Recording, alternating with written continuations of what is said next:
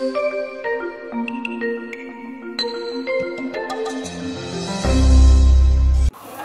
are blessed to gather once again. Um, at every gathering, while, while preparing, I try to, you know, um, go before the Lord and ask what we should, you know, um, talk about. And this time around, the Lord laid on my heart that we should speak about this um, why worry, the thing why worry. In fact, I battled with it a lot because I didn't understand. But along the line, I realized why we should handle this topic why worry. And I know, if not all of us, some of us find ourselves in that situation. And my passion for this conference is that at the end of every conference, you shouldn't leave the same. And this morning, I know you will never leave here the same. I came to prophesy into somebody's life that stop worrying. Stop worrying. Stop worrying. At the end of the day, your worry, you will not add anything to it. You, you, rather stress yourself up. So I pray that as we hear the voice of the woman of God, you will be blessed. Your life will never be the same. You will be transformed to another level. If you believe it, shout amen.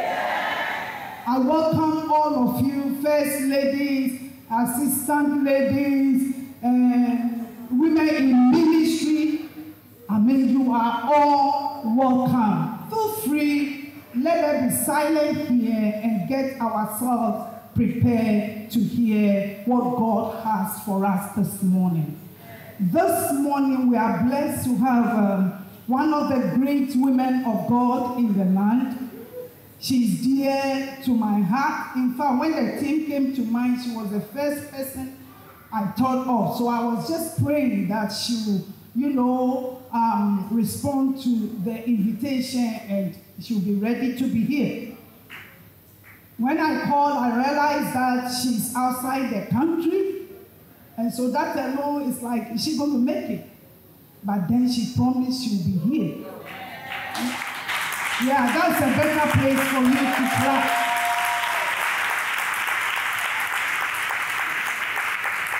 Even trying to get in touch with her so we can talk wasn't easy. But thank God yesterday she landed safely. So I sent her a message and I said, since we all travel, we know, I mean, how it is, what is involved. So relax a little bit and get here exactly at 10. But she got here exactly at 9. Hey! Wow! Oh, women of God. And so she has come prepared. She has come to be a blessing unto you. And like I said, I don't want you to leave here the same. I am here for you. We are here for you. you it, it's because of you this thing is being organized. We don't charge you anything. We don't, you eat free, you come free, you receive free. So if your life remains the same, then it is you. This morning, help me welcome the Episcopal of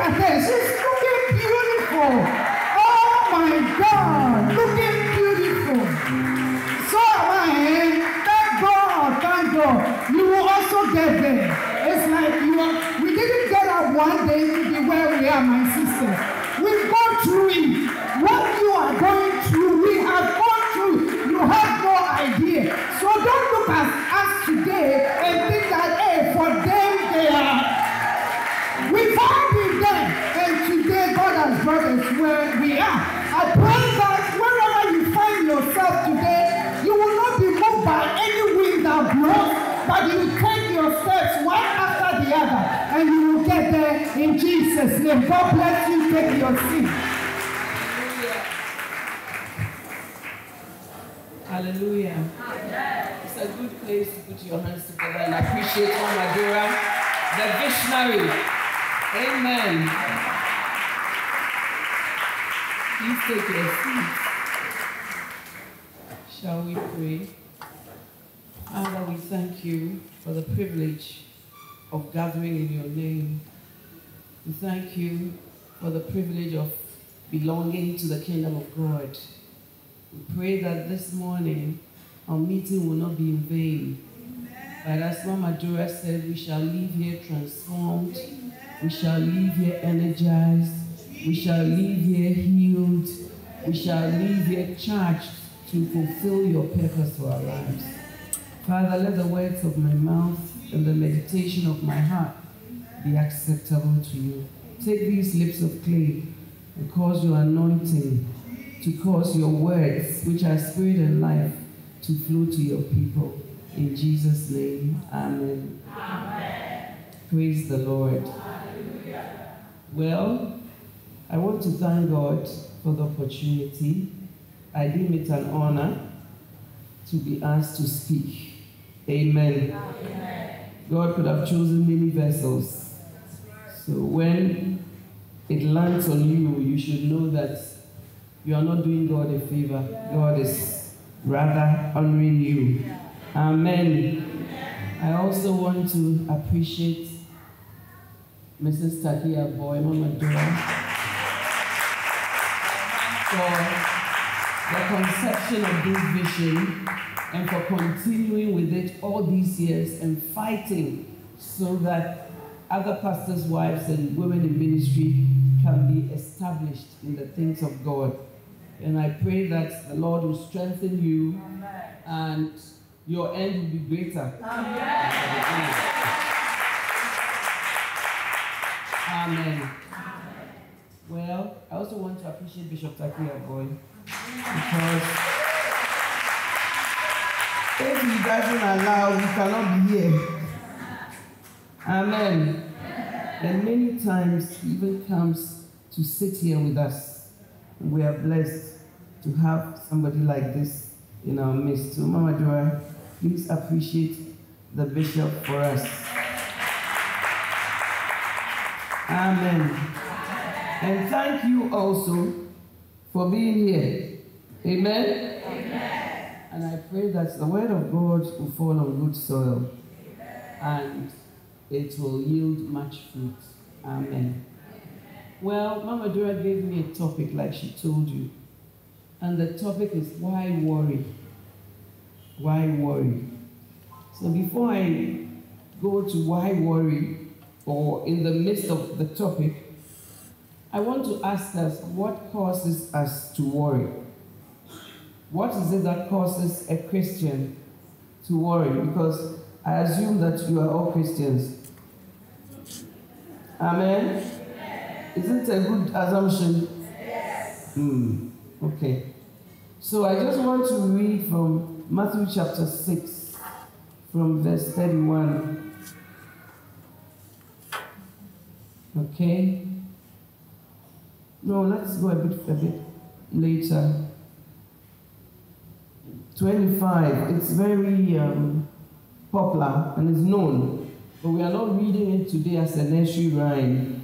We are reading it as the word of God to us. Amen. Therefore, I tell you, do not be anxious about your life, what you will eat, or what you will drink, nor about your body, what you will put on.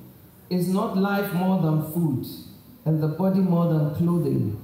Look at the birds of the air. They neither sow nor reap nor gather into barns, and yet your heavenly Father feeds them. Are you not of more value than they? And which of you, by being anxious, can add a single hour to his span of life? Another version says, How many of you can add a cubit to your height? And why are you anxious about clothing? Consider the lilies of the field, how they grow. They neither toil nor spin, yet I tell you, even Solomon, in all his glory, was not arrayed like one of these. But if God so clothes the grass of the field, which today is alive, and tomorrow is thrown into the oven, will he not much more clothe you, O ye of little faith? Therefore, do not be anxious, saying, What shall we eat? Or what shall we drink? Or what shall we wear? For the Gentiles, the unbelievers, seek after all these things. And your heavenly Father knows, He knows that you need them all. But seek first the kingdom of God and His righteousness, and all these things will be added to you. Therefore, do not be anxious about tomorrow, for tomorrow will be anxious for itself. Sufficient for the day is its own trouble. Amen. So, what causes us to worry? One of the main things that causes us to worry is what we shall eat, what we shall drink, and what we shall put on. Amen? Sometimes it's the basic necessities of life that causes us to worry. If you haven't been there before, you may think, oh, but is this worth worrying about? But when you are starting in ministry, you know, I remember that my father in law gave us a one bedroom apartment at the airport residential area. And I felt so blessed that he had given us that place. So when we moved in, then we started to arrange our things.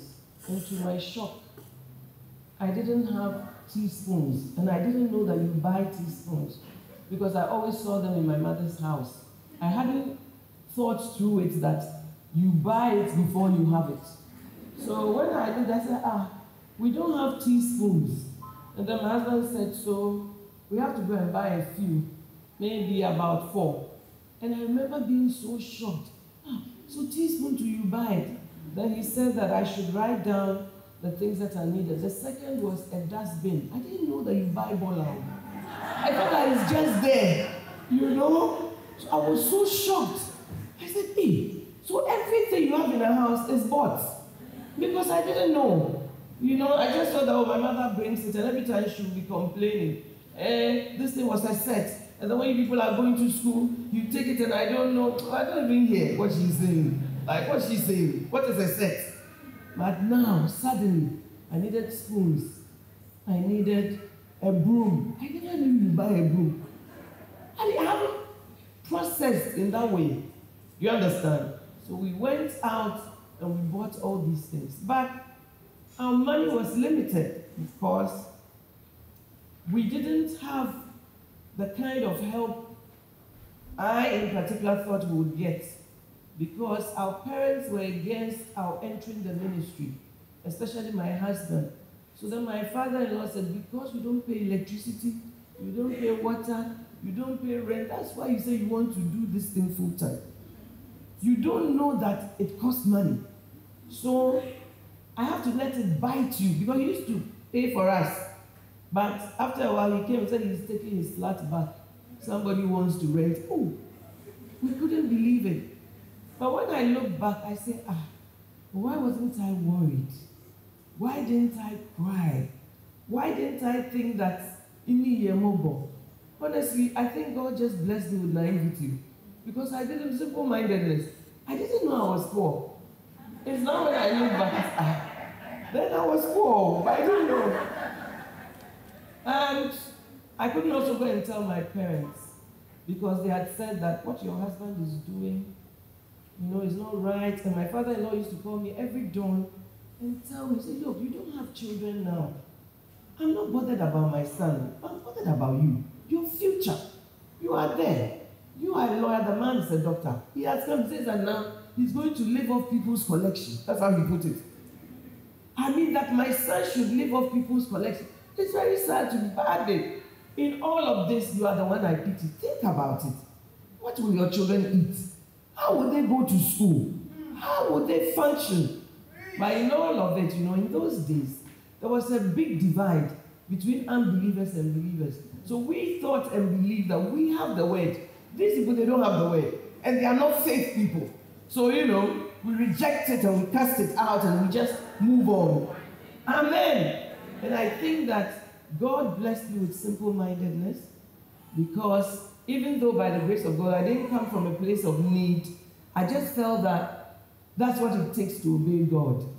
You know, but when you have children also, now you're not thinking about just yourself. What, what, where would the fees come from? How would they go to school? You know, sometimes when you worry so much, you even get worried and you start to have pictures in your mind of the school that your children will go to and all that. So it's the things around us and the, the, the things that we need, the basic needs, which Jesus doesn't say is not important. Because in the, in the parable of the sower, he says that these are they who the word springs but the cares of this world. The cares. And the cares of this world are cares because they are things you are responsible for.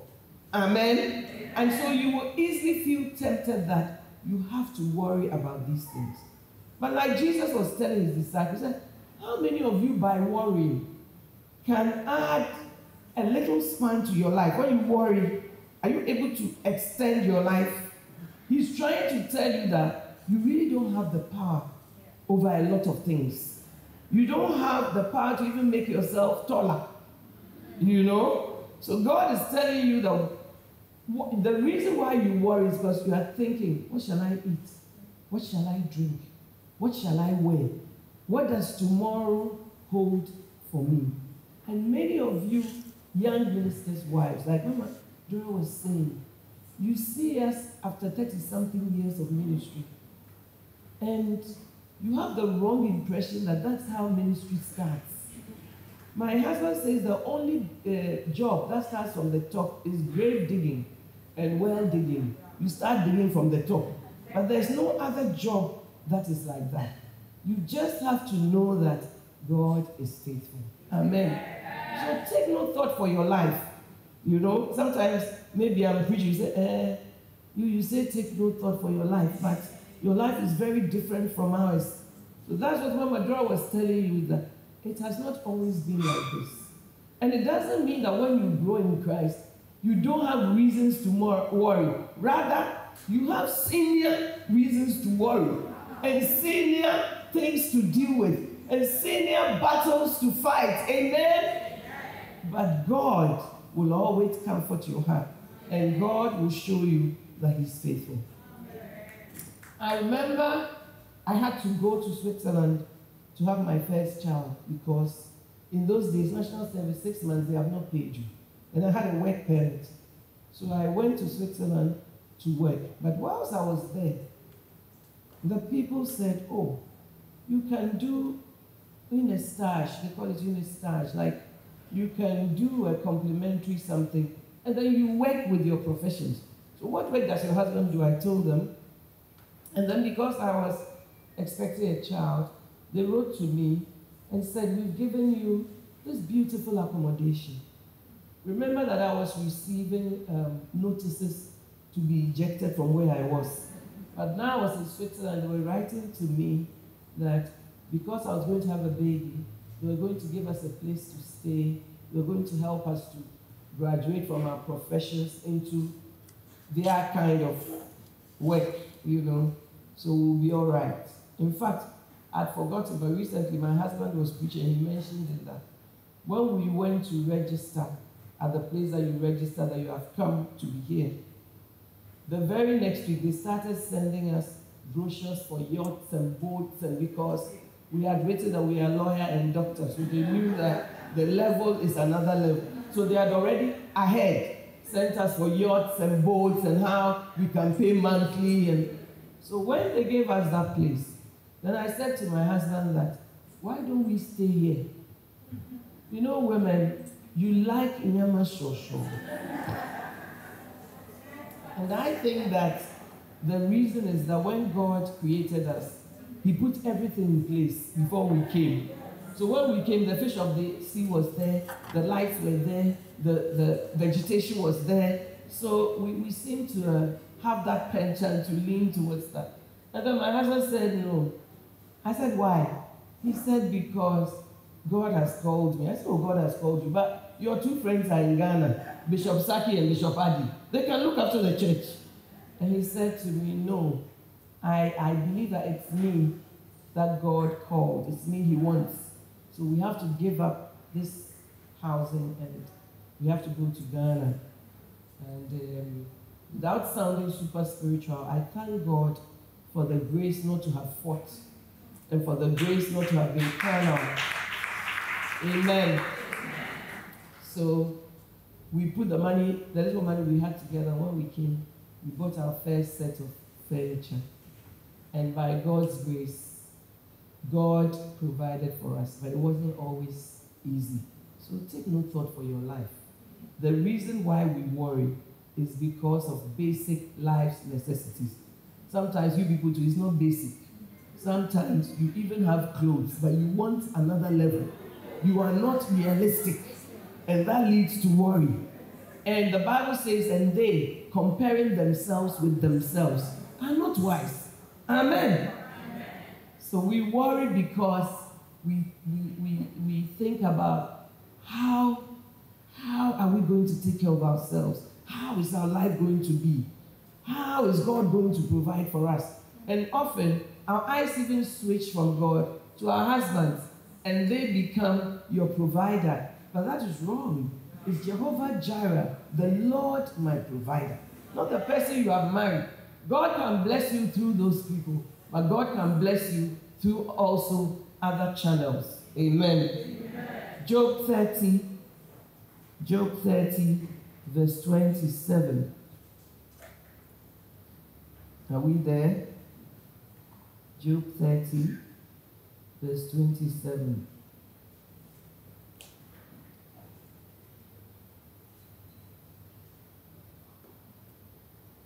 We worry when things around us lead to inward turmoil. Job 30, 27. My inward parts are in turmoil and never still. Days of affliction come to meet me. I go about darkened, but not by the sun. I stand up in the assembly and I cry for help. I'm a brother of jackals and a companion of ostriches. Amen. This is Job talking about his inward turmoils. So, some of the things, you know, whenever you go to church, you look so together and you look as if everything is okay, but you worry because inside there's turmoil. Something is eating you up. Sometimes the turmoil may be from somebody in the church. And unfortunately, you have to go to church every Sunday and every weekday, and you go and meet this your Peninnah, and it causes you inward turmoil. I mean, can you imagine Hannah living with this Peninnah? The Bible says that she provoked Hannah sore so that she wept and did not eat. So some of us, we have handed over the leadership of our lives to another human being. And we have become like light touches. When the person switches on, you go on. When he switches off, you go off. So you are not being led by the Holy Spirit. You are not being led by the Word. You are being led by other human beings. But the Bible says, as many as are led by the Spirit of God, they are the children of God, not led by people. You know, and when a human being has control over you, there will be inward turmoil because it is like does, does he approve of me? He doesn't approve of me. When he's happy, I'm happy. When he's sad, you are sad. When he criticizes, you are here. When he this, you are here. It can't be like that. And that leads to inward turmoil. And sometimes, especially in the ministry, you have no one to share your inward turmoils with. Because even when you try to go and share, they say, ah, you are talking about my pastor. You are saying bad things about my pastor. You know, the pastor can never do wrong because he preaches to them every Sunday from the pulpit. And you, they don't hear you all the time. So the pastor is sanctified, but you, they are not sure about it. Okay, so the inward turmoils, which we don't also share, leads us to worry. and even leads to sickness and disease. You know, Hannah was so provoked, she would not even eat. When you don't eat when you should eat, you now be, begin to develop peptic ulcer. You believe you, you begin to develop stress in your blood pressure and all that. And the person who is causing you this is lying on his boat somewhere and living his life. And you have allowed this inward turmoil not to come out, but to be like a sea that is in you. Beloved, these things ought not to be so. Amen. Amen. Proverbs 13, verse 12. I like to base everything as much as I can on the Word of God because God's Word is higher than my thoughts and my opinions. Amen. Proverbs 12, 13 says, Hope deferred maketh the heart sick, but a desire fulfilled is a tree of life. The third reason why we worry is because we are hoping for something and it keeps being deferred. You know, hope deferred makes the heart sick. And sometimes, you know, some people are hoping that the man will propose to you and he's not proposing. So that hope deferred is making your heart sick. Sometimes you are lusting over something like um, uh, uh, uh, Tamar's, the guy who raped Tamar, Amnon. He was lasting after Tamar so much. The Bible says that he even fell sick out of it. And sometimes we have some strong lust and some strong desires for things that we should not have. And that leads us to sickness because hope deferred makes the heart sick. Some of you have made yourself personal Holy Ghost in the life of your husband. And you have said that unless he does this, I will not be happy. Unless he treats me this way, I will not be happy. I am not saying he should abuse you, but I'm saying that there are certain things that we must not cast in iron. For instance, I just came from the Philippines and I was with a group of young people who work for my husband. They came with him. And uh, they were saying that they wanted to go to town, but the males amongst them were not flowing. And then I came up and I said, Look, their mother has given birth to them. They are like this already. They don't like shopping. Then now you go and marry them. You say by force, for you, romantic love is shopping. And the person says, I'm not able to go. Then all the good parts of your marriage you throw away. And then because hope deferred makes the heart sick, you are following the hope that is always being pushed afar, is deferred. And also, you have different backgrounds. You were brought up differently. So, the person's views may be different from yours. It doesn't make him wrong. Amen. It just makes him different. Amen, ladies. For instance, I always say maybe in celebrating Christmas, in your house, Christmas, you visit family members. That's fine. In my house on 25th, my father locks the door, the main gates. And then we, are locked, so we lay our table very long. And whether you are house help, house boy, you are all part. And we do performances. I mean, we actually dance, we do drama, we have anthems. We have a lot of, when you knock on our gate, we'll never open for you. And then we eat and eat and eat. Then 26th, we open the gates, and then you can come. Now here I am. I married my husband, whose mother is Swiss. And Swiss people celebrate Christmas on the eve, 24th. 24th night is their Christmas. So you've come. Your hope is that Christmas 25th, your children will say anthems and all. It's not working. And you are insisting so much because you want your way. The Bible says love does not insist on its own way.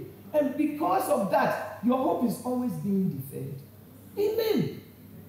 Maybe you have uh, uh, an idea of what is romantic to you. And your husband to, to be romantic means to eat fufu. I am not saying you should not nurture him, but I'm saying that when it consumes you, your hope is deferred and you are going to be sick. Amen, ladies. I hope I'm making sense there. Second Corinthians 7, verse 5. Second Corinthians 7, verse 5. This is Paul writing. For even when we came into Macedonia, our bodies had no rest, but we were afflicted at every turn, fighting without and fierce within.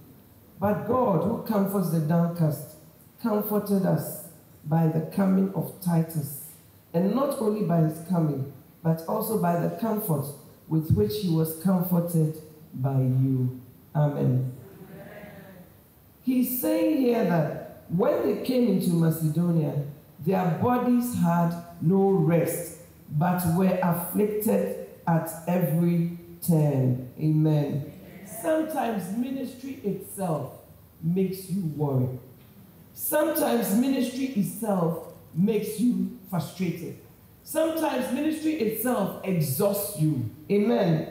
So Paul is in this, what he's talking about. He said, when we were come into Macedonia, our flesh had no rest. Sometimes the issues that come up in ministry give you no rest. So many things to worry about. So many things to every department, you have something to worry about. Amen. And some of you cannot even stand being talked about, let alone on Facebook. You just want to die. You want to disappear.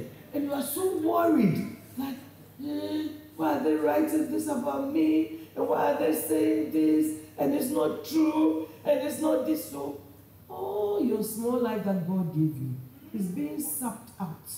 And you are following people on Facebook, social media, and you are so concerned about what the world says. But Jesus said, If I yet pleased men, I will not be a servant of God.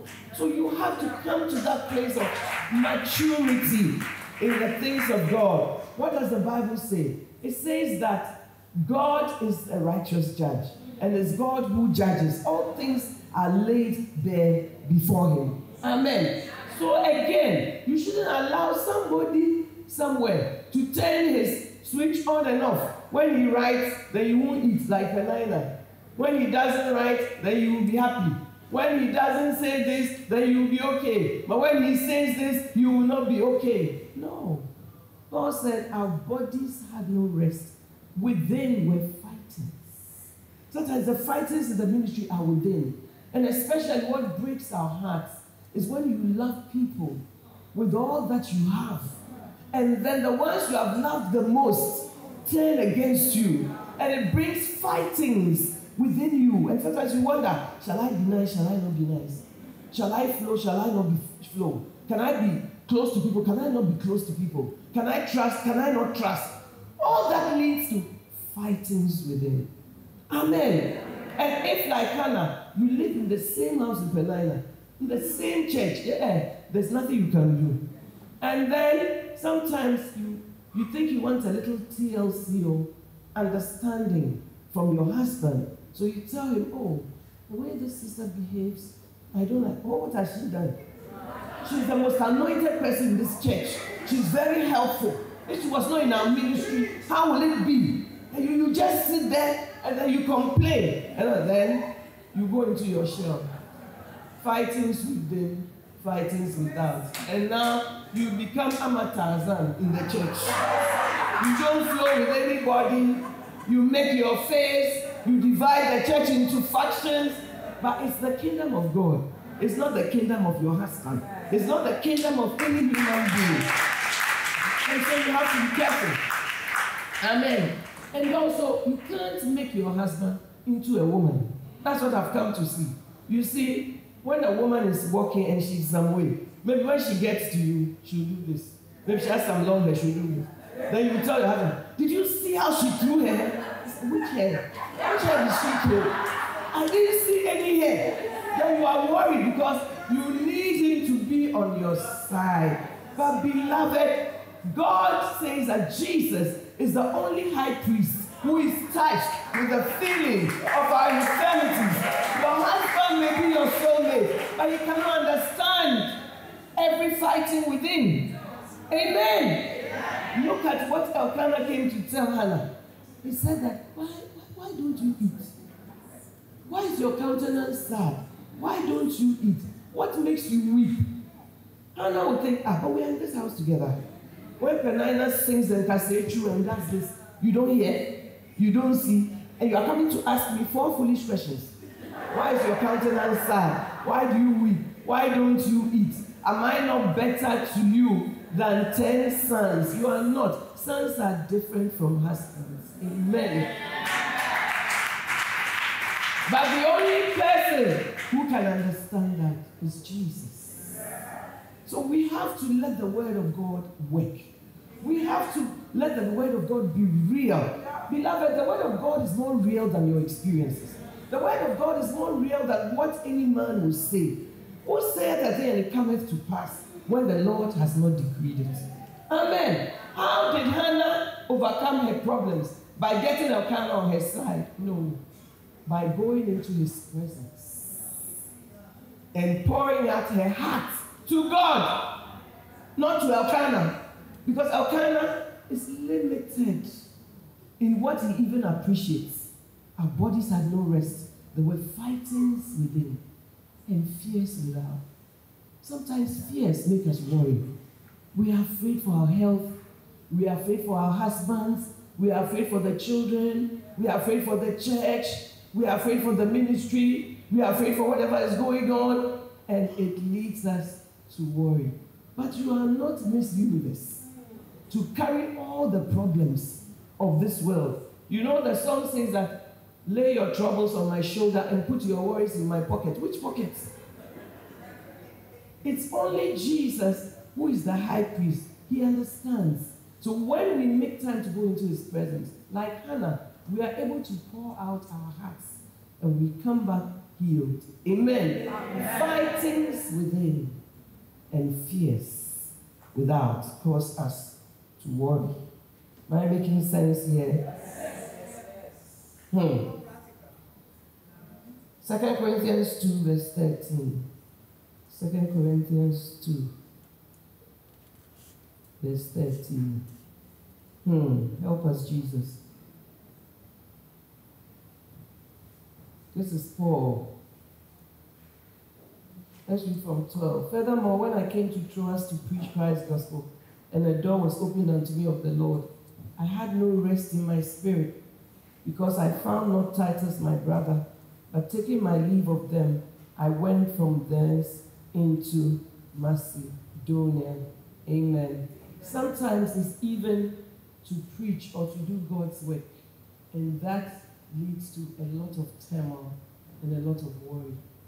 I've counseled pastors' wives who just love God and want to serve Him, but the husbands are not allowing them to do anything in ministry. I once counseled a lady, as soon as the church service is over, the husband says, Take the children and go home. I don't want to see you here. And she wanted to do church work and all that, and he would rather be fellowshipping with some lady that will be eating and this, and she should go. So I said to her, Are the souls in Accra finished? She said, Mommy, what do you what, what do you say? I said that after church, when you've taken the children out away, come back to your vicinity and go with somebody and just start to win souls. Then you have a fellowship and you'll be able to pour yourself into people's lives. It doesn't always have to be, and don't do it in a rebellious way. But you are looking for work. She was in the choir, she was removed. So Paul was saying that as I came to preach the gospel, there were a lot of things that I didn't make me have rest. So ministry can be a thorn. Ministry can be painful for the pastor's wife. And ministry can be a place that you walk away from and never come to again because you feel that every time we go to Shiloh, Peninnah comes with her children. So why should I go to Shiloh when my soul is so raw and Peninnah will just be pouring acid into my soul? But sometimes your place of pain is your place of deliverance. Your place of pain is your place of maturity. Your place of pain is what God will use to bring you through. So we don't look at just pain. The Christians of today, we are led by pain and offenses. The Bible says, as many as are led by the Spirit of God, not your pain, not your offenses. And that will lead us not to worry. Amen. Why worry? This is the causes of worry. So now I want to talk about why worry. Why worry when it is a dead situation?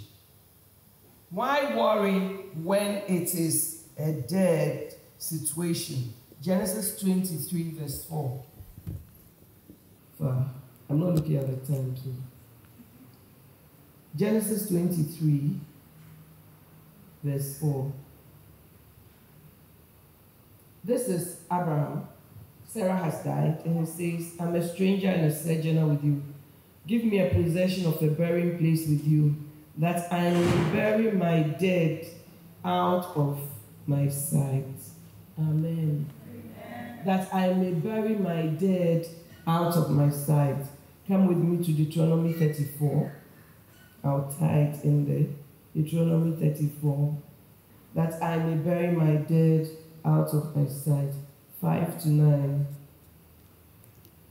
So Moses of the uh, so Moses the servant of the Lord died there in the land of Moab, according to the word of the Lord. And he buried him in a valley in the land of Moab, over against Beth Peor. But no man knoweth of this of his sepulchre unto this day. And Moses was 120 years when he died. Verse 8 And the children of Israel wept for Moses 30 days. So the days of weeping and mourning for Moses were ended. And Joshua the son of Nun was full of the spirit of wisdom, for Moses had laid his hands on him. Then now when you come to Joshua 1 verse 1, after this chapter is just Joshua 1 1. Now after the death of Moses, the servant of the Lord, it came to pass that the Lord spake unto Joshua the son of Nun, Moses' minister, saying, Moses, my servant, is dead.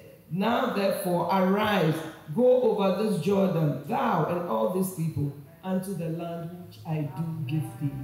Amen. Some of us, we sleep with dead bodies every night. Things that are dead. Things that happened some time ago things that don't have life, and you want to give them life again. But Abraham said, Give me a burying place that I may bury the dead out of my sight. Why worry when the situation is dead? The man should not have, but he has left you anyway. He has moved on. He has gone to marry somebody else, whatever it is. You may not like it, but it is a dead situation. You cannot resurrect what is lost. You cannot resurrect what is gone. And like the children of Israel and Joshua, they mourned for Moses 30 days, but they stayed in the same place and they couldn't progress. So God had to come to them in Joshua 1 where said, Look, now Moses, my servant, is dead. Now therefore arise and go forward into the promised land. Why worry when that situation is dead? Why worry when that situation is not going to come back?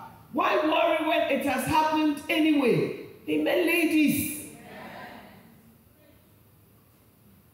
Some of us, we do necromancy. Necromancy is talking to the dead.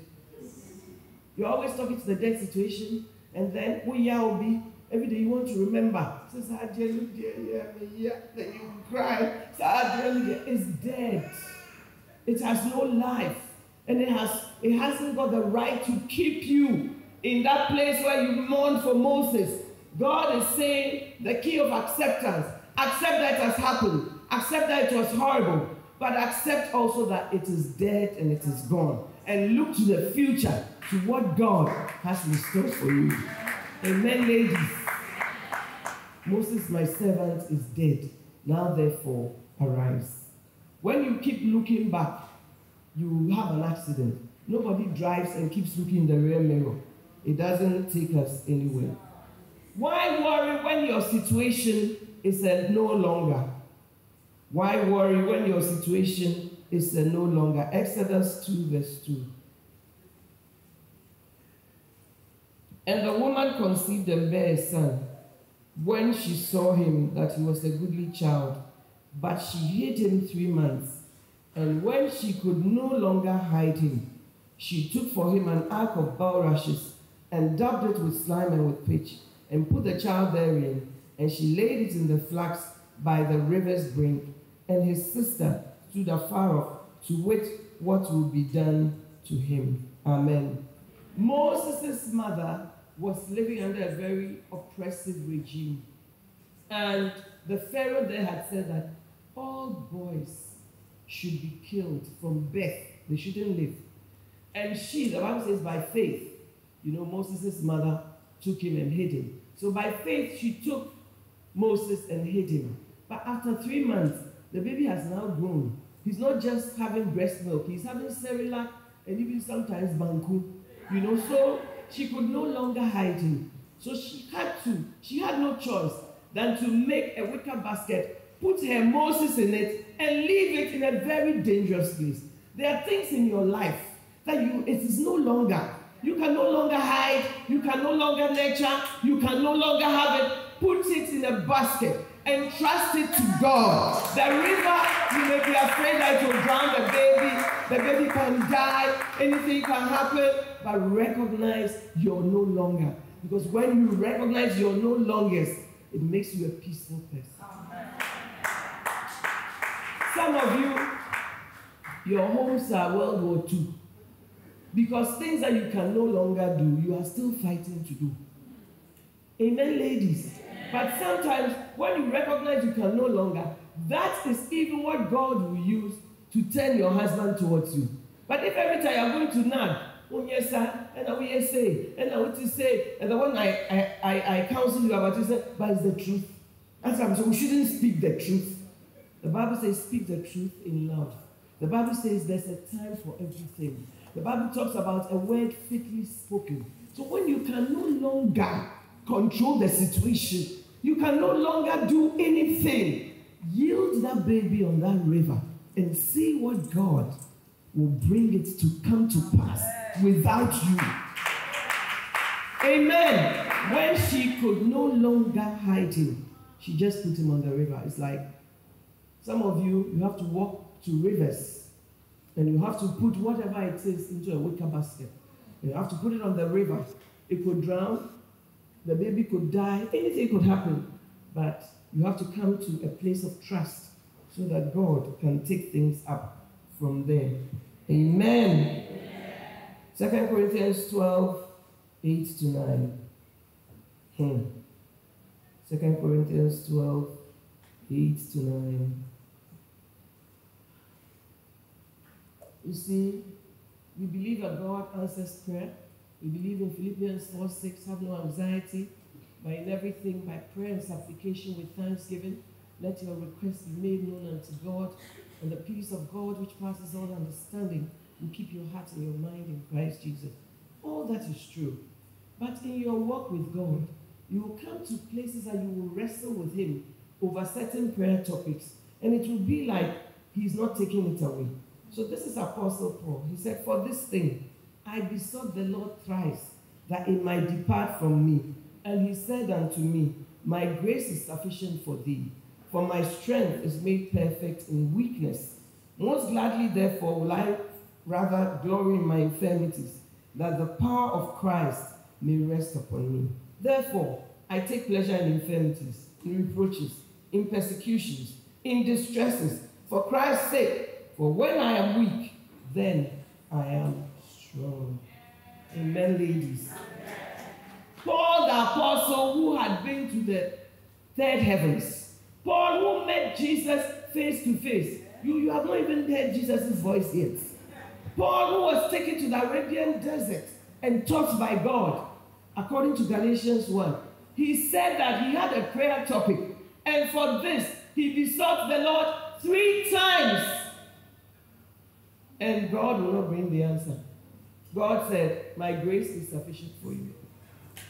My strength is made perfect in weakness. So the things that you worry about, some of them, they will never be answered. Because God is not working on the other person, He's working on you. He's working on bringing you to a certain place. It is uncomfortable, but it is for your good. Amen. So Paul said, For this I besought the Lord three times that it will be taken away from me. And what was his answer? My grace is sufficient for you. grace you will come to know what the grace of God is you always read it you share grace but you don't know what it is but when you have a situation like this and you beseech him all the time your prayer and no answer and then he comes to say my grace is sufficient for you my strength is made perfect in your weakness he says when you are weak then are you strong amen Amen. So the things you're worried about with my bonfire, I've paid vows, I've paid offering. God is not what a, maybe it's a, a, my grace is sufficient for you situation. Amen, ladies.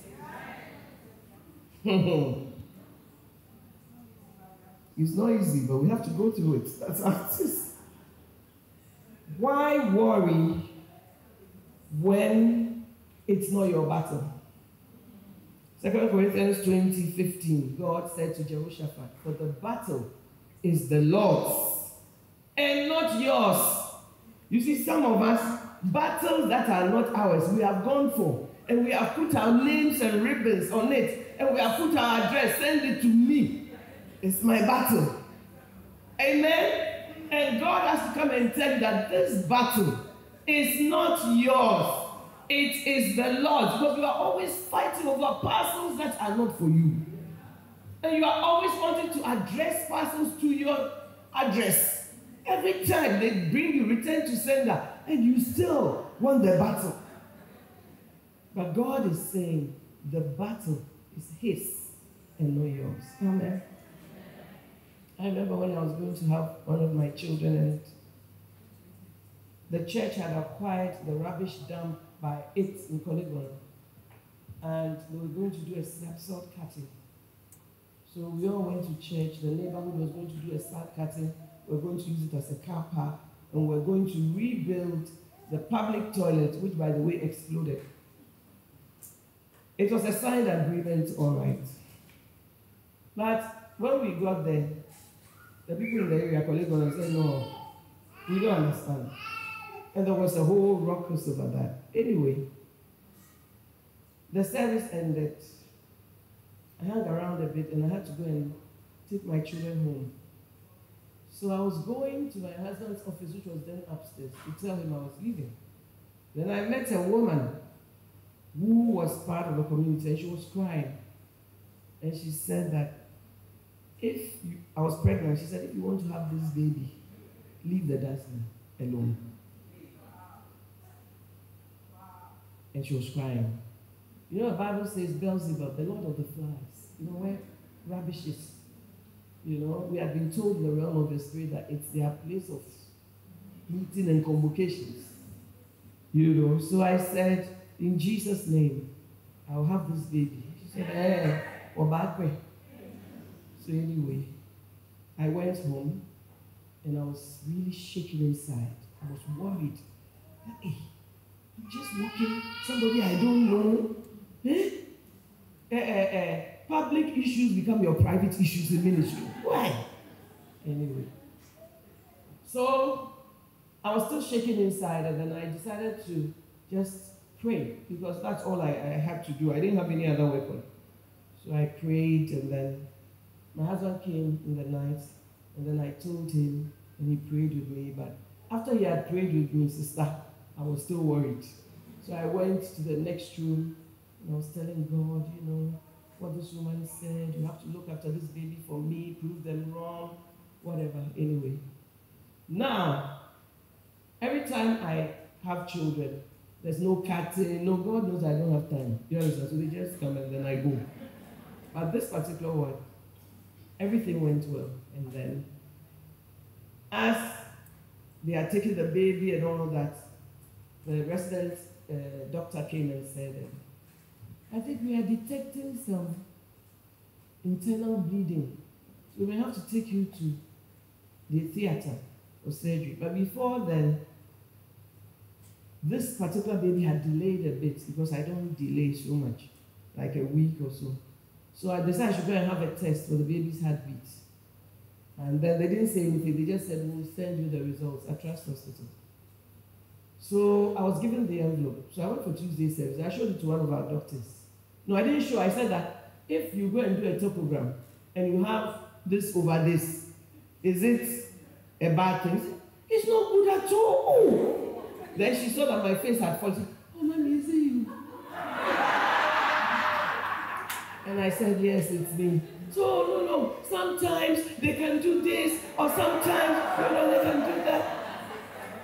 And then after that, well, I went into labor, and then they came to say, oh, it seems there's some internal bleeding. My mom was there, and then uh, my husband was also there, and the midwife came to tell me, don't worry, Bishop is walking behind the wall. Now, trunks all. Now, the woman was a believer. So anyway, the, when the doctor said that, then my husband said, no, he wants the opinion of the consultant before he will allow me to go to surgery. And my mother was there. So she came to them and said, oh, who couldn't medicine? You jailed the dad. I don't say. Your husband's medicine, he stopped long ago. Why is he now dictating to the people that they should? And I said, no, he knows what it's about. He's licensed, so don't worry. But anyway, I was thinking, God, you promised me. So I was prepared and I was wheeled into the theater. So I was under that big light. And then the consultant walked in. So when the consultant walked in, he examined me. And then he turned to the resident and said, Why is she here? Wheel her out. The God of the king said, I, I was dressed and everything like this said you get. So the battle is not yours. And because of where we stand, the types of battles, you see, you won't understand till you are there. Oh, you will not understand. You think the ministry is lace and nice hair, nice fascinator like Amadora. And then you go, did you do any keke? Why? Amen. So the battle is, uh, is not ours. Now, how do we overcome worry? How do we overcome worry? Psalm 37, verse 7. Psalm 37, verse 7. Okay, Psalm 37. I'm running to the finishing line. Psalm 37, verse 7. Rest in the Lord and wait patiently for him. Fret not thyself because of him who prospered in his way, because of the man who bringeth wicked devices to pass. Cease from anger and forsake wrath. Fret not thyself in any wise to do evil. Actually, Psalm 37 is one of my favorite verses. Rest in the Lord and wait patiently for him. Now, Hebrews 4 1 talks about rest. And a lot of you worry because you are not able to enter into his rest. Hebrews chapter 4, verse 1. Hmm. How to overcome worry. Let us therefore fear, lest the promise being left us of entering into his rest, any of you should seem to come short of it. So even entering his rest is work. It says, let us be careful. Let the promise of entering into his rest, it doesn't happen to us because we are not able to rest in the Lord. Amen, ladies? Let us therefore fear. Hmm.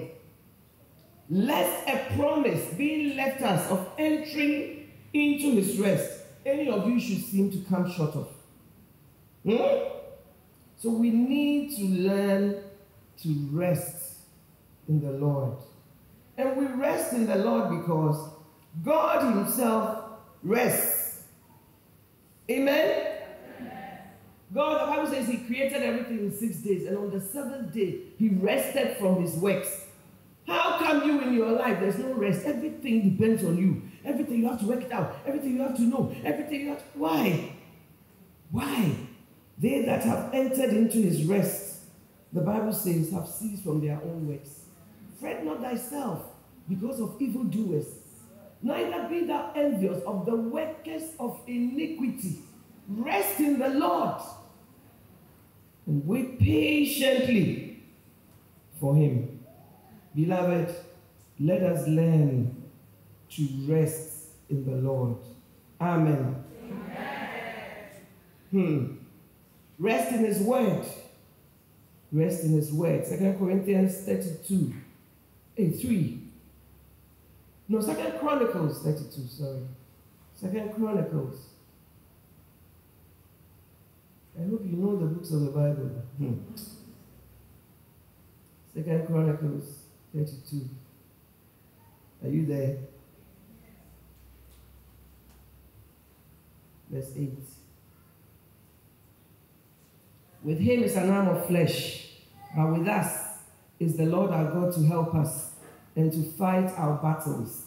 And the people rested themselves upon the words of Hezekiah, king of Judah. Hezekiah was speaking to them, was ministering to them, was ministering God's word to them.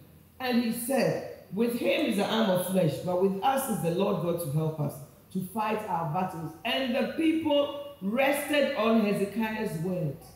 When a word is preached, do you rest on it? When a word comes forth, do you rest on it? Say, mm, I know the Bible to chair. Said, no, Put the Bible aside and let's be real. Sometimes when people say, How do you go through this? I say, It's the grace of God. Oh, we know grace. We are talking about how. And the people rested on the word of Hezekiah. Does church do anything different for you? When you hear his word, like in a meeting like this, does it make anything change? Do you rest on the word of God's servants? Do you? Or your worry is like, you always have to take it up and put it on your head. Rest in his word. And then get through things by godly comfort. Godly comfort. 2 Corinthians 7 verse 6. Think we even read it. Second Corinthians 7, verse 6. Paul is talking from verse 5. He says, When we came into Macedonia, our flesh had no rest. We read that. Fightings within fears without. Nevertheless, God that comforted those that are cast down, comforted us how? By the coming of Titus so God gives you support groups in your life. The coming of a human being, the presence of a human being in your life can make a difference. You can't go it alone. You need a support group. Amen, pastors' wives. Amen. Paul said that we had fighters within, fears without, but God comforted us by the coming of Titus. By you, when your Titus comes, say, "We show oh, to hear then." When you show, what is she coming to add to it? But God is comforting you through your worry, through the coming of Titus. But you are not recognizing your Titus. Even this meeting is a Titus meeting. Amen. God is sending you support through a ministry like this, through a vision like this. God is sending you support. God has sent me support through Serita Jakes. Yes. And through so many other women of God. Because sometimes people cannot relate to where you are. Do you understand? But she preached a message long ago. Prisoners of the gospel. Go and look for it on YouTube. It will change your life forever. Prisoners of the gospel.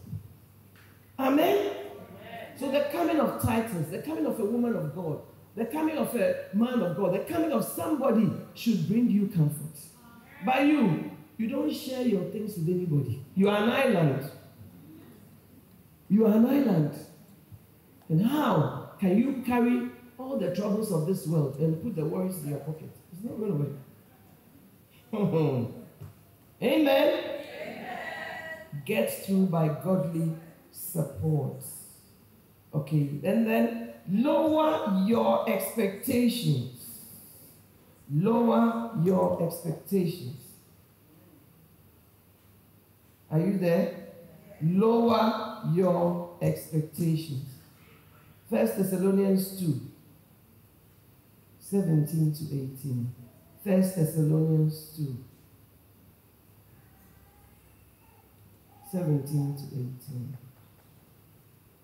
But we, brethren, be taken from you for a short time in presence, not in heart, endeavored the more abundantly to see your face with great desire. Wherefore we would have come unto you, even I, Paul, once and again. But Satan hindered us. For what is our hope or joy or crown of rejoicing? Are not even ye in the presence of our Lord Jesus Christ as is coming?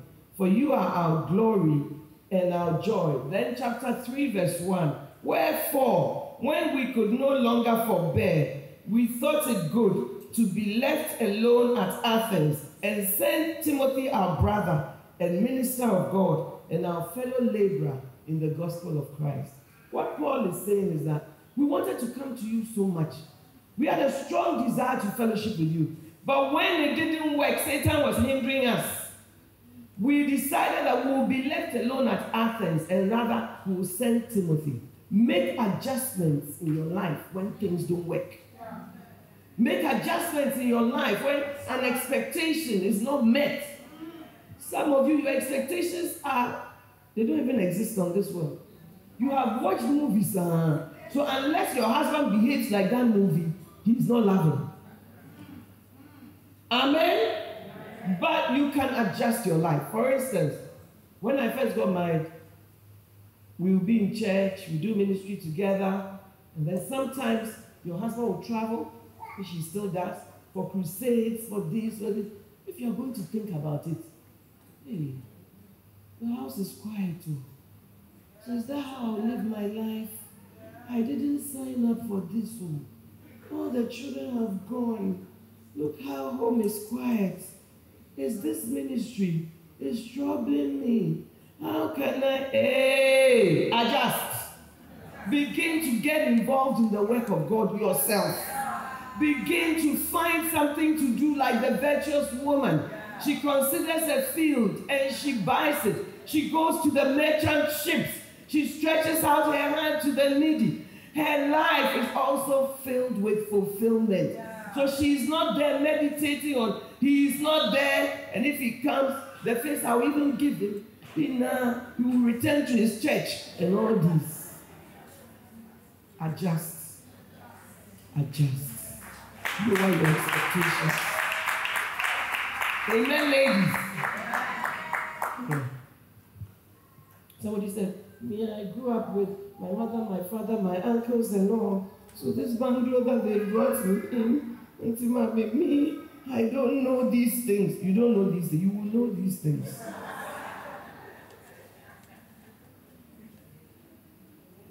Rest in the course of your journey. Numbers 9, 18 to 23. I'm about ending. Numbers 9, 18 to 23. Rest in the midst of your journey. At the commandment of the Lord, the children of Israel journeyed, and at the commandment of the Lord, they pitched as long as the cloud abode upon the tabernacle. They rested in their tents. Amen. Yeah, I'm saying? Be involved, do this, do that, but sometimes your worry and your unfulfillment is also because you don't take time to rest. You don't take time to do the things that make you happy, which, by the way, I hope are godly. You don't take time to even go out with a friend, have lunch with a friend, do something that gives you rest on your journey and in your walk with God so that you don't put too much pressure on the man God gave you. Amen, ladies. So look in your life. What gives you fulfillment? What makes you happy? What will be rest for you? Sometimes you should go to a spa if you can afford it. Amen. And when they start to massage here, massage, they say, hey, it's all stress. He said, really? I didn't know. Sometimes you should give yourself a manicure a pedicure. Pamper yourself. Rest on the journey so that you will be healthy. Amen. Every day you are organizing. Every day you are spending for others. Every day it's time to also have rest on your own journey. Amen, ladies. And it doesn't take money to chill. Even the woman with the manicure on her head, you can afford it. Amen, ladies.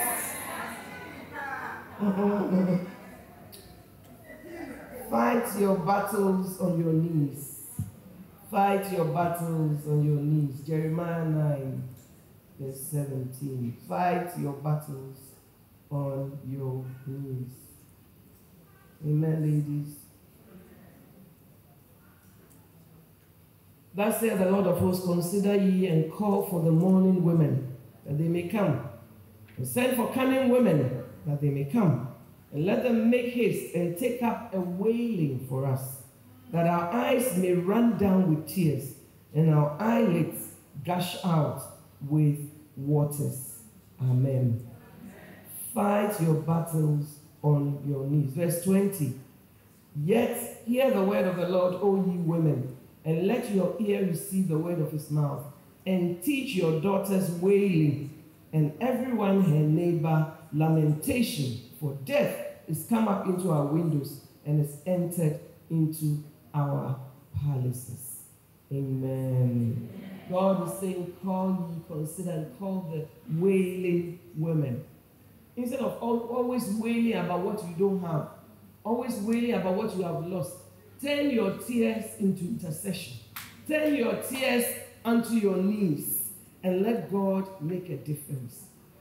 Amen. Hannah was prayerful. That's how she got the breakthrough. Elkanah didn't do anything for her. Amen. She went, and even as she was trying to do her best, she almost got offended because Eli said, The way you are talking, you are a drunkard. So put away your drink. Some of you, you would have forgotten about what you came to pray about.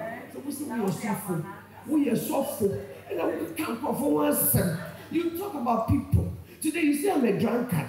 You say you are a man of God. You see wrongly. And you just get up. The miracle will be through the window. Because Satan has been able to distract you. But the Bible says, looking unto Jesus. Not looking unto your circumstances. Not looking unto your situation. But looking unto Jesus the author and the finisher of our faith. Amen, ladies. Fight your battles on your knees. Amen. And you see, it will surprise you how God will come through. It will surprise you how God will come through.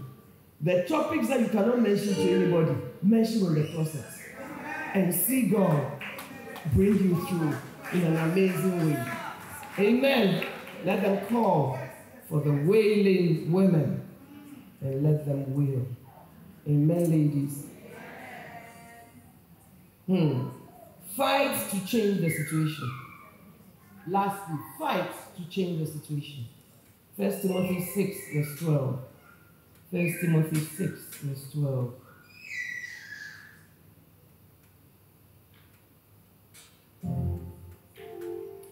Fight the good fight of faith, and lay hold on eternal life, whereunto thou art also called, and hast professed a good profession before many witnesses.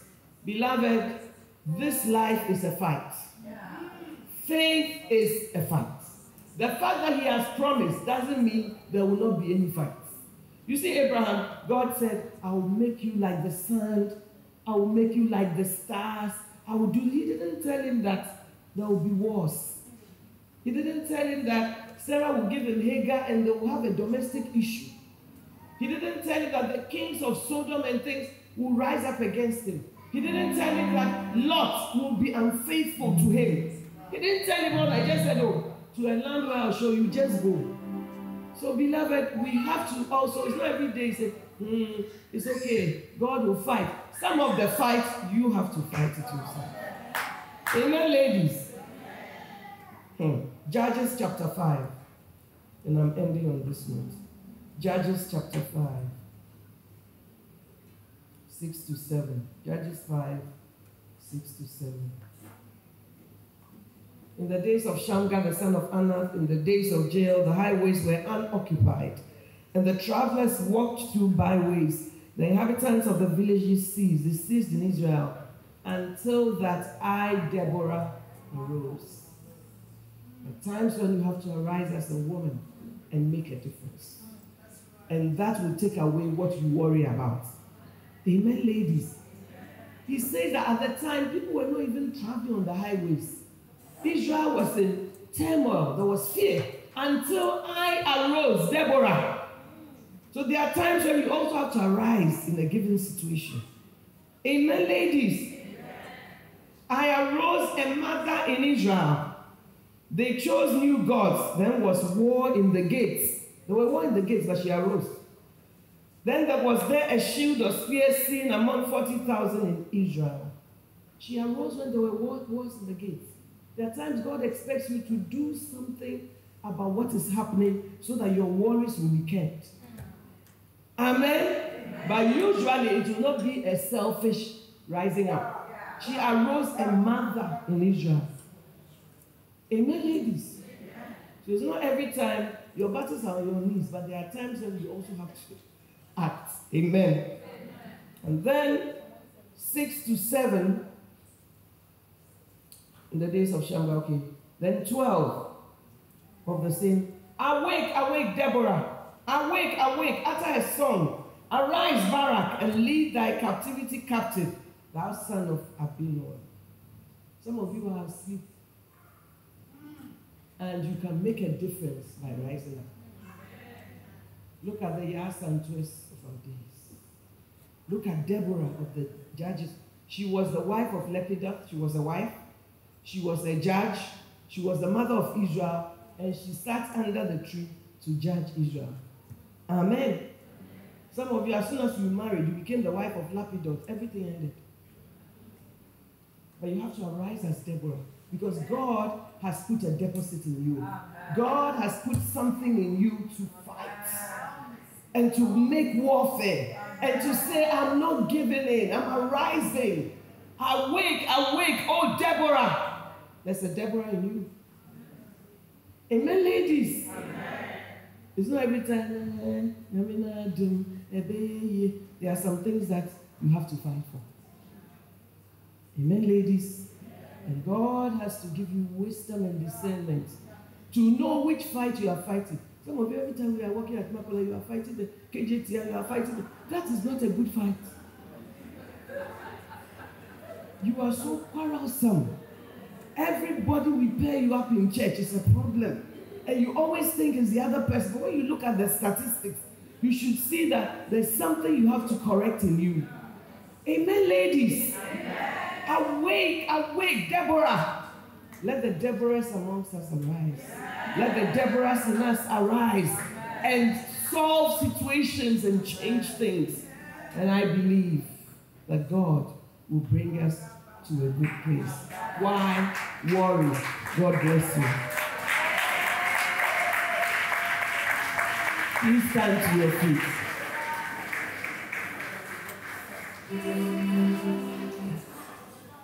Every eye closed, every